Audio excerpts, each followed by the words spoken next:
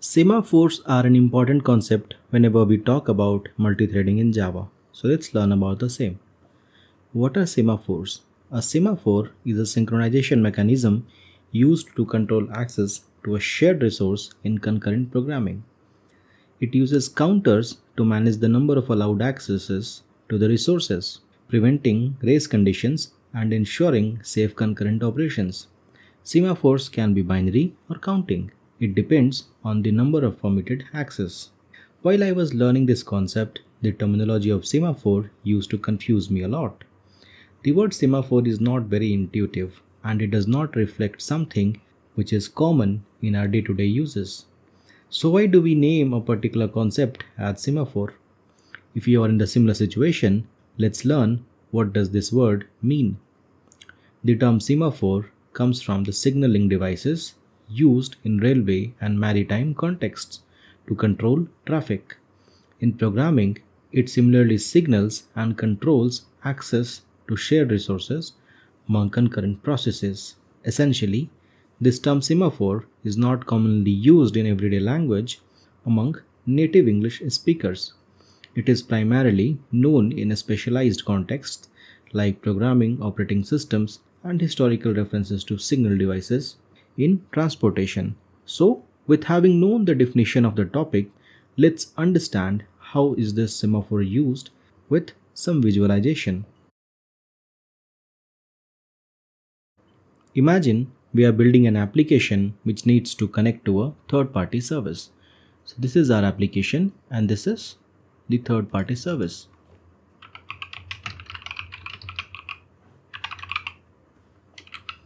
So this is the application and this is the third party service.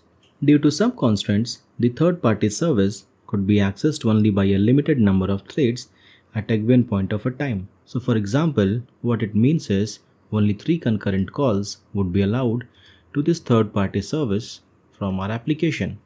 So in order to implement such scenario, we need to ensure that we have some sort of restriction in place.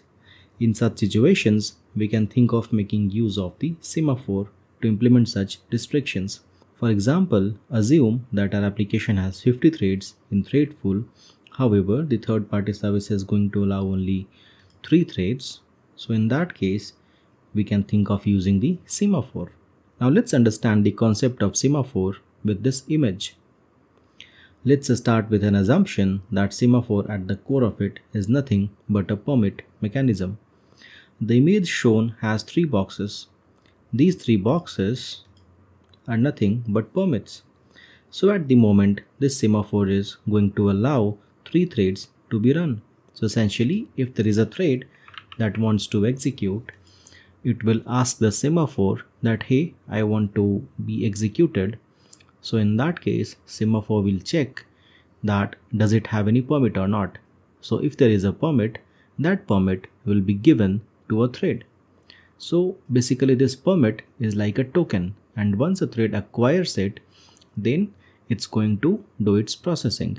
So this is what we mean when we say that at this moment this semaphore is going to allow three threads to be run. To begin with, we have thread 1 which wants to execute. So it calls acquire on the semaphore. The acquire method is like it's requesting for a permit now that at the given instant we have three permits available, the thread 1 is going to be allowed and it will execute and access the third party service. So essentially thread 1 comes and it says hey I want one permit to be executed. Semaphore is like alright I have three permits here you take this one and you can proceed. So once it's given you could imagine that this permit is no more. So essentially you have two permits left and once this permit is assigned to thread 1 it goes ahead with its execution. So thread 1 is essentially allowed to execute. So once thread 1 has been given the permit semaphore will have two available permits. And while thread 1 is executing and accessing the service let's say we have another threads which are thread 2 and thread 3 which come to semaphore asking for permits. And at this moment the semaphore has two permits available so it will give the permits to thread 2 and thread 3 and essentially after these permits are given to thread 2 and thread 3 they also go about with their execution. So thread 1 starts with its execution and so does thread 2 and thread 3 after acquiring the permit. Now let's imagine at some point of time in future thread 4 comes into picture and it's going to the semaphore and say hey semaphore I want to execute and in that to happen I want to acquire the permit from you. So at this moment semaphore is like alright that's fine that you want to get executed but I don't have a permit with me as of now. So what you can do is you could wait and due to this thread 4 gets blocked. So thread 4 had called the acquire method and it's going to get blocked on the acquire method and sometime in future when thread 1 is done with its execution it will say alright I am done with my execution. Now I am going to release the permit that I had acquired. So the permit will be given back to the semaphore. And as soon as that permit is given back to the semaphore the thread which was waiting for a permit in the semaphore will acquire it and proceed with its execution. So let me revert back the image. And now we have all the three permits available with the semaphore. So at some point of time thread 4 got a chance to execute by acquiring the permit. So this is the way in which semaphore works. So let's understand what exactly is this release method. Well thread says hey semaphore i am done with my execution. Thus i'm returning back your token your permit that you gave me earlier and you could make use of it as per your wish. So you could understand that semaphore permits are nothing but kind of reusable tokens in that sense.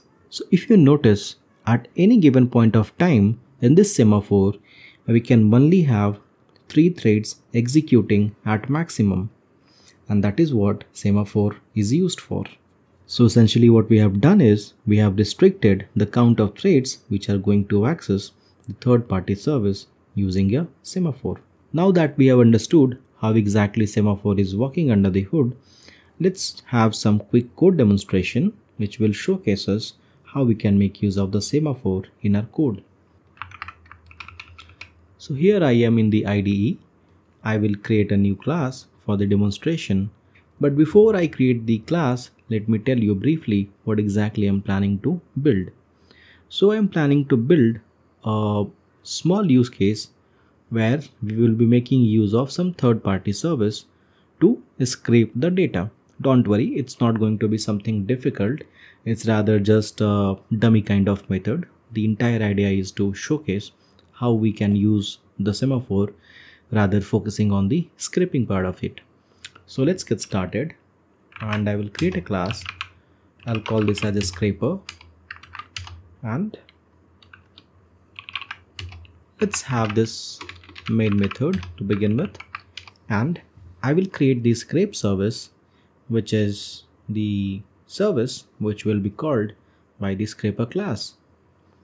So just as a good practice I am going to make the scrape service as a singleton class. Not that it's needed for this demonstration but just as a good practice let's have it as a singleton and let's have this instance and uh, what we will be needing is a semaphore. So let's initialize the semaphore. It provides a constructor wherein we can pass some value. So this semaphore is going to have three permits. And we have a method that is called scrape.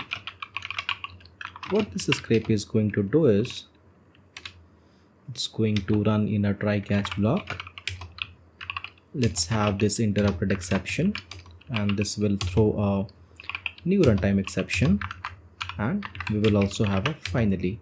Why? We will look at it in some time. So to begin with this thing is going to acquire the semaphore. So it will call the dot acquire method on the semaphore.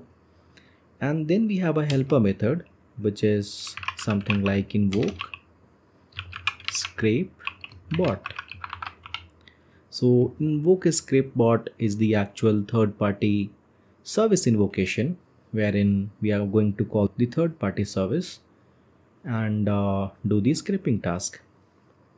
So we will implement this method in some time but for now let's have this signature here and imagine that uh, some thread has acquired the semaphore permit and it got terminated due to some reason or maybe it went into a deadlock situation so what happens is the semaphore permit is acquired forever but we don't want that to happen right what we want essentially is that once a thread is done with its execution it should be releasing it so similar to the way in which we used to acquire and unlock the locks, right? We will be using the try and finally block and in the finally block, we will say semaphore dot release. Idea is that in either case of success or failure, the execution inside the finally block will take place and that is when we are going to release the semaphore. So let's implement the invoke scrapebot method.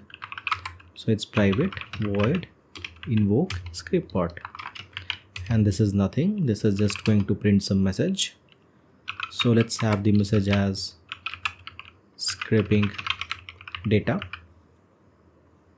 and to mimic some sort of uh, execution time we will have some sleep introduced in the code. Let's say this is for two seconds.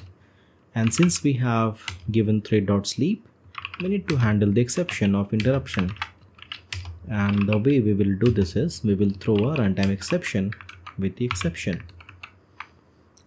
Not the best way to do it. This should do for the demonstration purposes.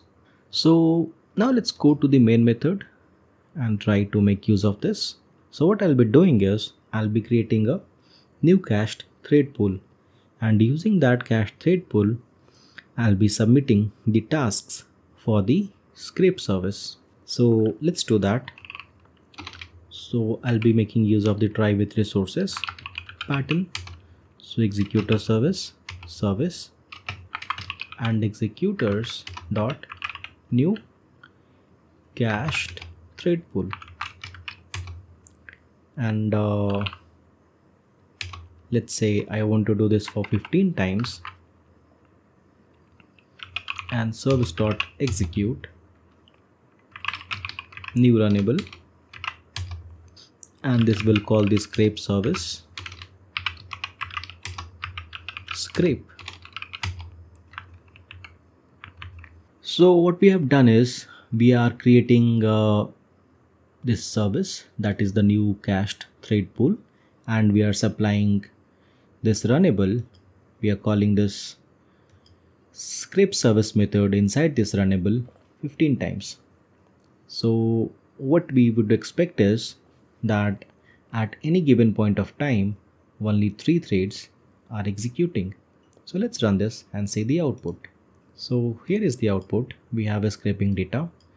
Then we have a scraping data. Then we have a scraping data. Finally we have a scraping data. So what is happening essentially is out of all the 15 times we have submitted the runnable, we are just allowing three threads to execute simultaneously. So scraping data is printed thrice, scraping data is printed thrice, and so on and so forth. So this is kind of demonstrating that using a semaphore, we are restricting how many threads can run at a given point of time. Please note that how many threads will be actually running at a given point of time will also depend on how many cores you have and all those things. But the whole idea is that if you use a semaphore and some sort of permit, then in the worst case possible, at max, only those many threads will be running at a given point of time. And that is the whole intention and idea behind using the semaphore. So now that we have seen the code demonstration, let's learn a few more things about the semaphores. We also have a concept of multiple permits. Please note that we can acquire multiple permits at a time. For this, we have an overloaded method of acquire which allows us to enter the number of permits we want. So when we call semaphore.acquire, you can pass a value. So let's say semaphore.acquire and you pass a value of 2. So 2 permits out of 3 will be taken by the thread. However, we should always ensure that the number of permits we take should be equal to the number of permits we are returning back by calling the release. So like we had passed the number of permits in the acquire method, we also need to pass the number of permits in the release method as well. So if dot acquire is 2, dot release should also be 2. And uh, there are some other methods in semaphore as well. Let's learn about those. The first one is try acquire. So when this method is used, the thread will try to acquire the permit. If there is no permit available, the thread won't be blocked. Rather, it can do something else. Then we have try acquire with timeout, which is essentially the same as try acquire, except it accepts some sort of timeout. The next one is the available permits, and as the name suggests, the available permits returns the number of available permits with a given semaphore. The final one on our list is this new semaphore, which accepts count and fairness. Well, this is an overloaded constructor of the semaphore. It accepts a fairness criteria, which is a boolean value, and when given as true, the thread waiting the longest gets the chance to acquire the permit once it's available with the semaphore. So that's all about the semaphore. It's very easy and intuitive to understand. Essentially, it's a mechanism to introduce a controlled bottleneck situation to ensure that there is an upper limit on how many threads can work on a shared resource at a given point of a time.